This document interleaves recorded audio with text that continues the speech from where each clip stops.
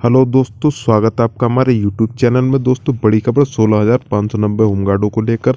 तो दोस्तों, बिना रुक के वीडियो को लाइक करें, चैनल को सब्सक्राइब करें। दोस्तों, आपको बता दें कि यूपी हाँ जी, प्रदेश के सोलह हज़ार पाँच सौ नब्बे होमगार्डों को सरकार ने हटाया। बरेली में तीन सौ लोग हुए प्रभावित।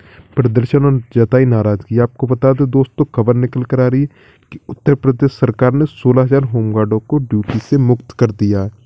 सरकार के इस फैसले से प्रदेश भर में होमगार्ड सरकार से नाराज़ हैं? सरकार के इस निर्णय से नाखुश होमगार्ड ने शुक्रवार को बरेली में प्रदर्शन भी किया? बरेली में लगभग 300 होमगार्ड सरकार के इस फैसले से प्रभावित हुए? शुक्रवार को बरेली में ड्यूटी से हटाए गए होमगार्डों से प्रदर्शन की और दोबारा बहाली की मांग की।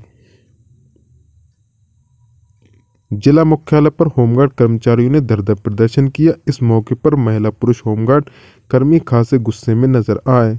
होमगार्ड कार्मिकों ने आरोप लगाया कि ज़िले के करीब 300 होमगार्ड कार्मिकों को ड्यूटी से हटाया गया है।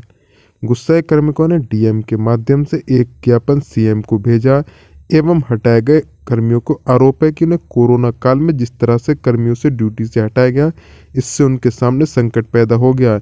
प्रदेश सरकार ने एक जनवरी यानी आज से पूरे प्रदेश में सोलह हज़ार पाँच सौ नब्बे होमगार्ड कार्मिकों को ड्यूटी से हटा दिया गया। इस फैसले से नाकुश प्रभावित होमगार्ड कर्मी शुक्रवार को जिला मुख्यालय पहुँचे और प्रदर्शन किया।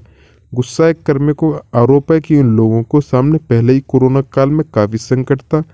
ऐसे में प्रदेश सरकार की ओर से आए आदेश के बाद हटाए गए होमगार्ड कर्मियों के सामने रोजी रोटी का संकट खड़ा हो गया है। गुस्साए होमगार्ड कार्मिकों ने उत्तर प्रदेश अवैतनिक अधिकारी एवं कर्मचारी एसोसिएशन बैनर के तले कलेक्ट्रेट गेट पर प्रदर्शन भी किया। आपको बता दें कि बरेली में करीब 300 होमगार्ड कर्मी ड्यूटी से मुक्त किए गए फ़िलहाल गुस्साए कर्मचारियों ने यहाँ जिलाधिकारी कार्यालय पर अल्टीमेट देते हुए कहा कि अगर उनकी समस्या का उचित निराकरण नहीं किया गया तो वह दस जनवरी को भूख हड़ताल पर चले जाएँगे। गौरतलब है कि चौबीस होमगार्ड कर्मी जिनमें से 300 कर्मचारियों को हटा दिया गया। दोस्तों, होमगार्ड जवानों के लिए बेहद ही बुरी और संकट भरी खबर है, दोस्तों।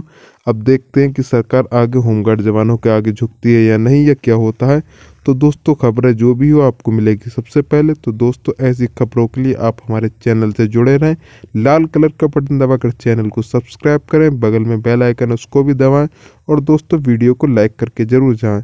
दोस्तों, आपने अपना कीमती समय दिया। अपना कीमती समय देने के लिए धन्यवाद। Thanks for watching.